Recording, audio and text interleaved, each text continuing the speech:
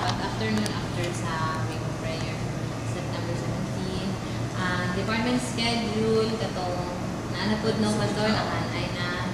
Then ang food in charge sa speaker si Ate Janet na sa accommodation ako na ang team song assignments ako ah ang in charge sa Garland si Pastor Navarro.